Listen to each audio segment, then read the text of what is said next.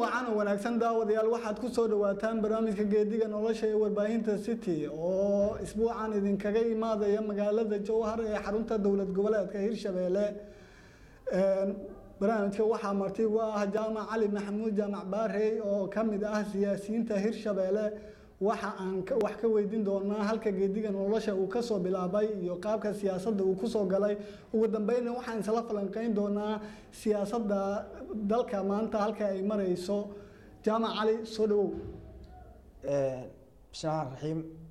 Alxamdu lilah aladi calama bilqalm calama alinsaanu maa lam yaclam. Raagi waan ku dhawahay barnaamijka geediga nolosha warbaahinta city f m ee magaalada jowhar runtii waan dhawahay raage. Aada umahadsan tahay waa kaaga mahad celinayaa qaabka aad inooga aqbashay iyo iyo iyo sida aad noo qadarisay noogu timid stuudiyaha mahadsanidaan ku leenahay. Tan kale jaamac cali waa siyaasiyiinta hirshabelle aad ka mid tahay.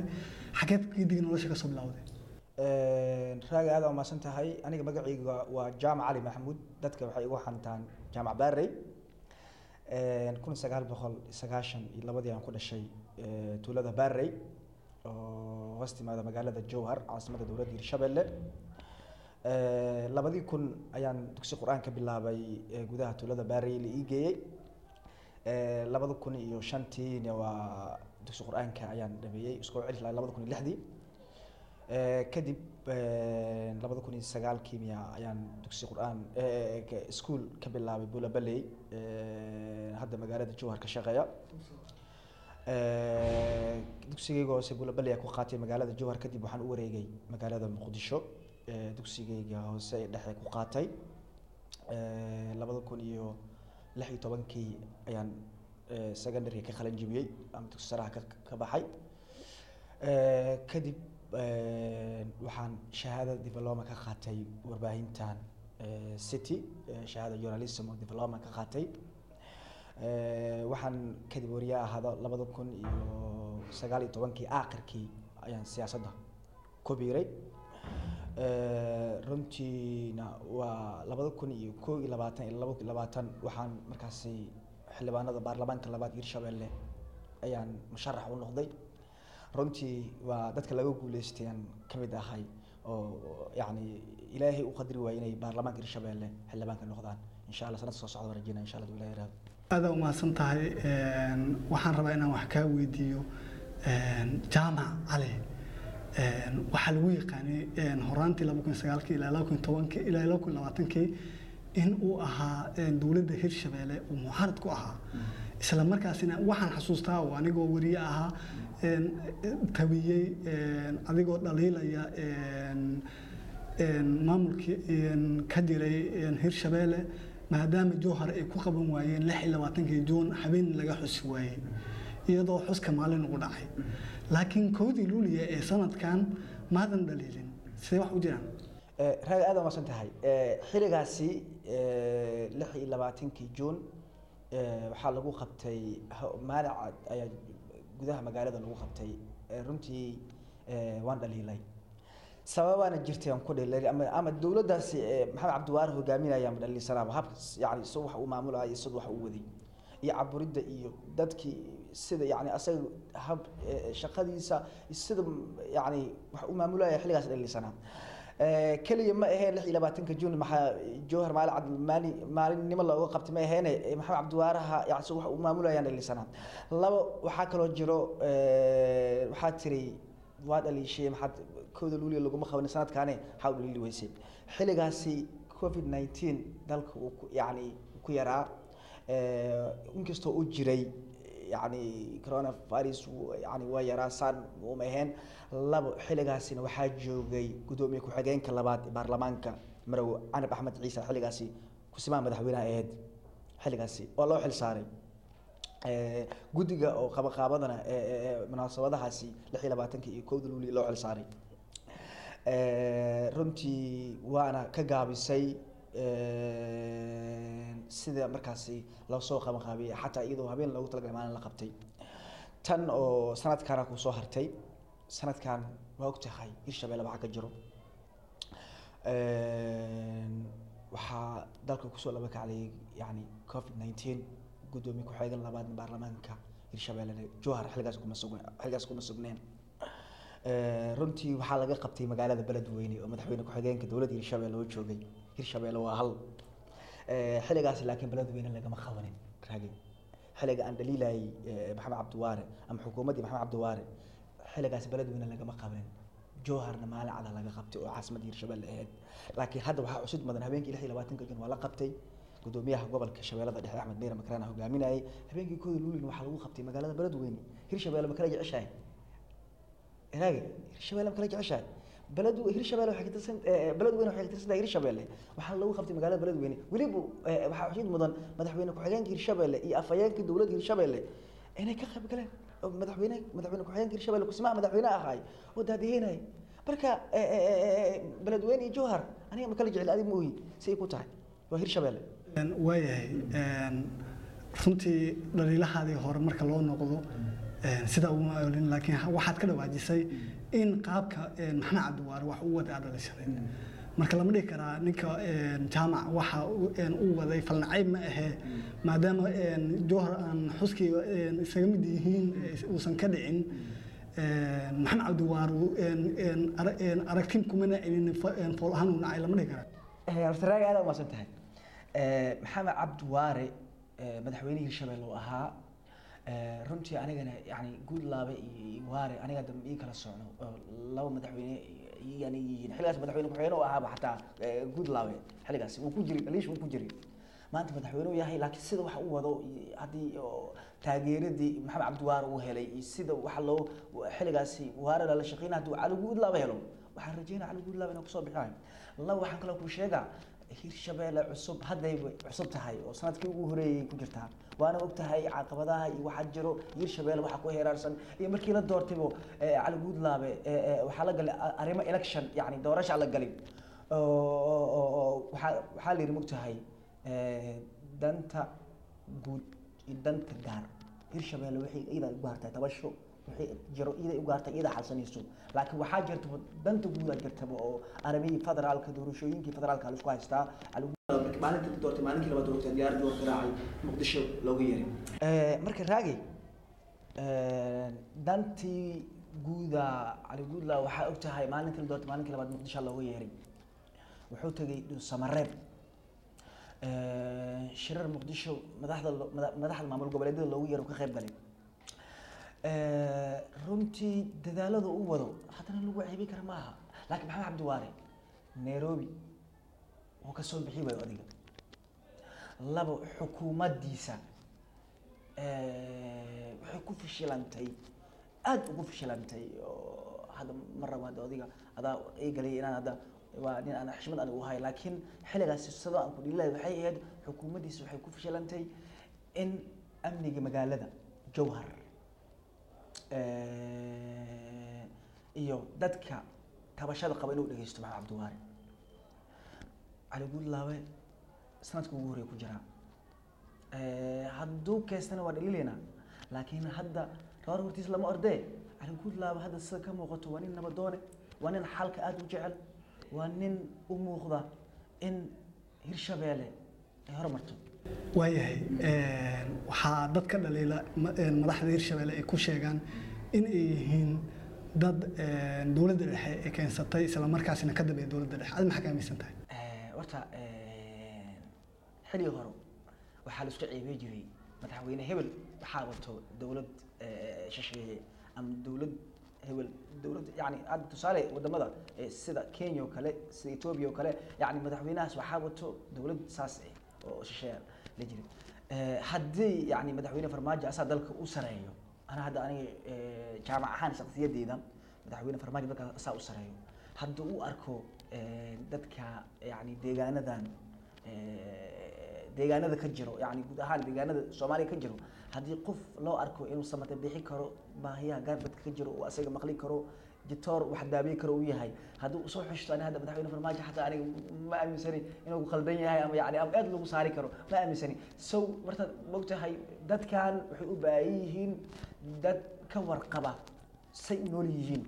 Haddii ka waran nin qurbajoogka lagu keeno dadkaas si u nool yihiin si kale yani waay u haynan lagu keeno siday u maari doontaa ama dowladda federaalka aragta haddii inaa ku eedeyso horta fiiri eedda waxaa qaadanaya ku sheega eedda stateka kaliis ma qaadanaye dowladda dhexena eedda qeybay ka qaadanay eedda yani stateka ka dhacdo stateka ninka madaxa ka ee kaliis ma qaadanaye maanta cali guudlaabe haddii yani statekiisa wax ka dhacaan madaxweyne farmaajo qeyb uu ka yahay ma fahantay marka aniga xataa haddi hadda si loo maleynayo si wax u wadaan dadka maba jiraan dadka qaare haddii jirta xataa aniga wa- wa- waxaan dhihi karaa waa waxba iska caadi oo oo loo xulo karo madaxweynaha. Waa nin u baahan dadka meeshan yani hirshabeelle nin u baahan waaye. Nin ka soo shaq yani soo shaqo tegay ma aha guudlaabe waa nin qurbajoog aan ahayn nin dadkan ku dhex jiri waaye. Sababta baarlamaanka hirshabelle u doorteen waa sababtaas ugu horeysa dhihi karaa. Marka eh, qofka in laga xaqiro yani wax yani ma aha xataa diinyana xataa qofka wuxuu qabto waa loo madceliyaa oo kumaasanta la dhahaa qofka waa la dhiirigeliyaa. Qofka hore u soco la dhahaa laakiin cid kastoo loo arko inay yani horumar hiigsanayso waxaa la leeyahay yani saasaa tahay. Marka su'aasha alcumuum woodlaw waxaan ku taageeraa siduu asaga u shaqeeyo sida wanaagga dadka ugu yaro asaan ku taageeraa. Dowladnimadaana yani dowladnimadaana yani i siinayso inaan cidna taageeri karo cidna aan dhaliili karo. Cidda u arko aniga shaksiyaan leeyahay siyaasi aan ahay cidda u arko dalkan inay foodo iyo qas ku wado waan sheegaa waan inaan sheego oo wax aragtida ka aaminsanaa ka sheegaan yani aan ku xadgudbanaa xor u ahay. Ciddii u arkana inay wanaagsan tahay oo yani guul laga fili karane. Waan u sacbinaynaa. Guul laawana waa loo sacbinaa cabaa loo sacbinaa maalna loo sacbinaa waa waa nin nabadoona la dhihi karaa oo aad iyo aad nabad ugu jecel. Waayahay qaab dhismeedka hirshabelle maxaa ka aaminsan tahay inay ku dhisan tahay? Hirshabelle habka hadda baarlamentarianka yani sida hadda wax loo qaybsaday ma rabo waa waa waa baarlamaan baarlamanku uu dhisan yahay. Xiliga wax laga bedeli lahay dowladdan waaye yani hadda guud lagu hogaamiyo. Xiliga wax laga bedeli lahay xukuumadda wax laga bedeli lahay. Sida hore isneed waa laga yaabaa in bedel u yimaado. Yani sida golaha wasiirada ay u dhisan yihiin in qaab kale loo bedelo. Waa waa laga yaaba waan la filin waya wax la filin wayo waay laakiin waxaa waaye soomaalida tahdaa hore hortiis lama ordo xilligii la bedeli lahaybu waxaa la galay arrimo election doorashaa la galay waxaa la isku mashquuliyey arrimihii federaalka waa ogtahay dhibaatada soomaaliya ka jirtay. Marka gacalka in laska baawan waa laga fiican yahay oo yani carqaladeen statekaas waa qolo gaara yani jabhad gaara carqaladeen ku hayso og tahay. Nin xoog leedaha hogaamiyo meel uu xisaaban yahay hadda lama hayo mucaarad iyo muxaafid meel uu yahay mucaaradna waa la noqdaa muxaafidna waa la noqdaa. Laakiin saasi dadka yani lama rabo. Eheladaadii qaraabadaada naarta waa lagu digaa wa ahliyakum naarun qudwa naas. Yani ehladiina qaraabadiina naarta ugu diga ilaahay uu soo leeyahay marka dhismaha hirshabeelle ama ha saxnaadaano ama ha qaldanaadaano hirshabeelle way dhisan tahay xilliga wax laga bedeli lahaayna waa xukuumadan. Hadda madaxweyne cali guudlaabe oo madaxweyne ka yahay wax laga bedeli lahaa xukuumad weli la soo magacaabin. Dhaliishiisa iyo ammaantiisa waa maalintii xukuumadda la magacaabo waa xukuumad markii la dhiso waa sida u shaqa markaasi waay. Laakiin lama gaarinba. Guudlaabe maalintii la doortay jawhar diyaar ka raac maalintii la doortay maalinta ku-xigtay jawhar oo diyaar ka raacay. Xaaladii soomaaliya adarna u baxay. Qofka lagama been sheego lamana been abuurto guudlaabana waa qof wuxuu u baahan yahay garab la siiyo. Wuxuu u baahan yahay yani la taakuleeyo. Wuxuu u baahan yahay hooshii qabtay in lagu dhiirigeliyo. Wuxuu u baahan yahay dadkiisa inay garabaha istaagaan. Laakiin in dalki yani statekii foodo la geliyo iyadoo weliba shaksi naceeb yani hataa waxaan dhihi karaa qabiil naceeb baan dhihi karaa xataa weliba la geliyo. Waa laga fiican yahay cid kasta fiiri sagaashan iyo sagaalka baarlamaanka hirshabeelle cid yani tabasha ka qabin malaha cid walba tabashay qabta beeshiya tabasha qabta taada tabasha qabta qof kasta inay wax ka oo yani u haystaa. Laakiin waxaa la xali karaa saan oo kale miiska wada hadalka markasuu markas loo yimaado oo dadka dhan isla yimaadaan yani hadal lis dhaafsado markaasaa wax la xali karaa. Laakiin bismi illaahi raxmaan raxiim iyadoo arrintii yani federaalka lagu maqan yahay jabhada la aasaasay yani dad badan oo dhalinyaro ee hadda qabriga ugu jiraan arrintaas darteeda eedaasi ciddii ku fal laheyd oo duurka ku jirto oo jabhada hogaaminayso eedaasi adduunyo iyo aakhiro maxkamad loo soo saari doono insha allah. Annamimu laa yadkhulu aljanna. Waayahay wasiir caadle wasiirka arrimaha gudaha hirshabeelle waxa uu sheegay in qaab dhismeedka hirshabeelle meelaha aysan ku wada qanacsanin cadaaladna uusan ku sa- ku salaysnayn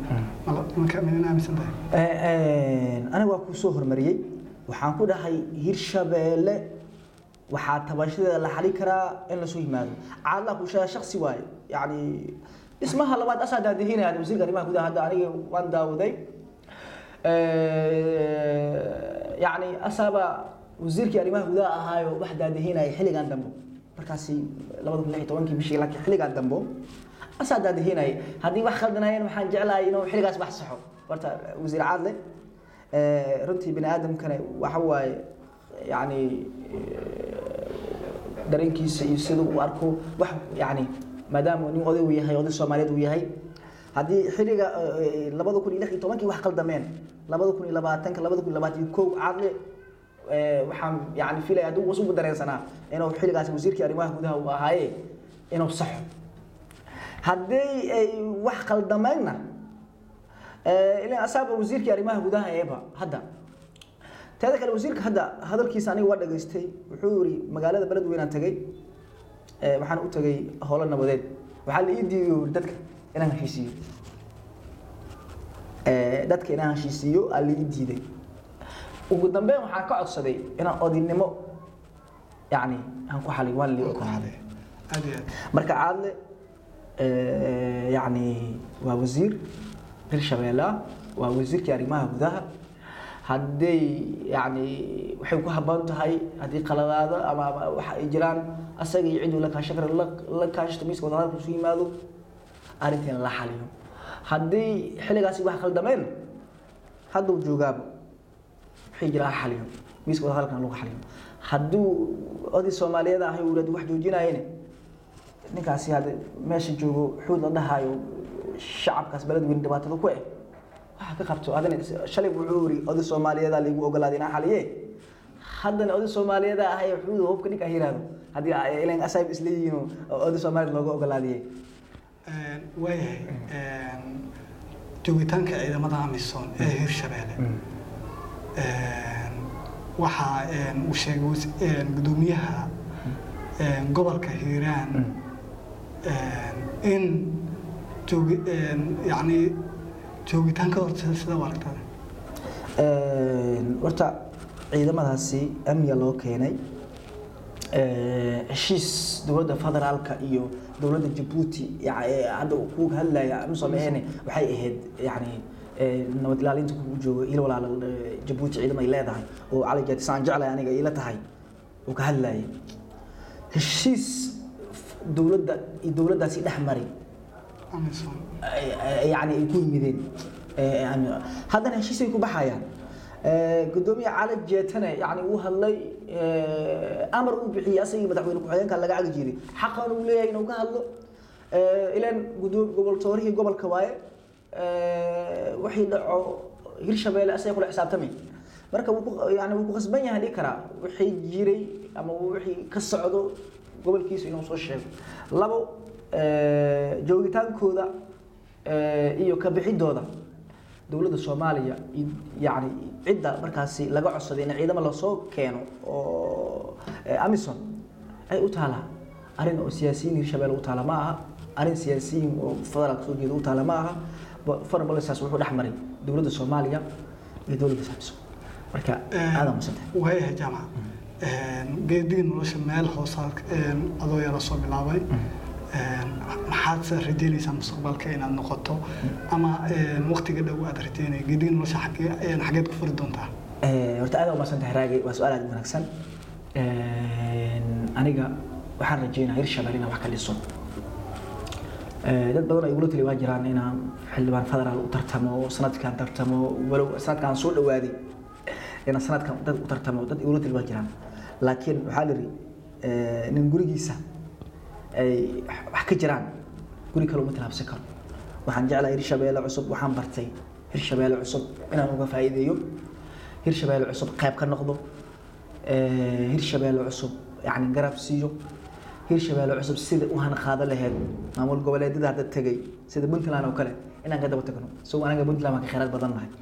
Marka insha allah waxaan rajeynaa inaan hirshabeelle cusub qayb ka noqdo insha allah haduu ilaah yidhaahdo ummadda hirshabeellena looga adeega Ee, cid lagu dulmaayo haddii hirshabeelle hadda uma arko insha allah mar lagu dulmi doono insha allah anigana jaamac ahaan shakhsiyadeyda waxaan jeclahay haddii hirshabeelle cusub ka mid noqdo cid kasta oo baahi qabto cid kastoo tabashi qabto in lala fariisto oo la wada hadlo oo aniga naftirkeyga qayb ka noqdo insha allah kaalinta maalinka- maalinkaas iga aadan insha allah ilaah yidhahdo haddana kama fariisto talaan bixiyaa ee, xafiisyada ee, yacni dad aad saaxiib una hayaa jiro tala igu weydiiyo dad aan tala igu khaas u hayaa jiro insha allah meeshii wanaagsanana yacni han sheegaa yacni waxaana jeclahay adduunyihii aakhiri ilaahay aniga igu anfaco insha allah saasaan jira insha allah aadaan umahadsan tahay waa kaaga mahad celinayaa qaabka aad u mahadsantahay adigana insha guud ahaan daawadayaal waxaan intaasi ku soo gabagabeyneynaa barnaamijka geediga nolosha ee warbaahinta city oo idinkaga imaadaya xarunta dhexe ee tv-ga uu ku leeyahay magaalada jowhar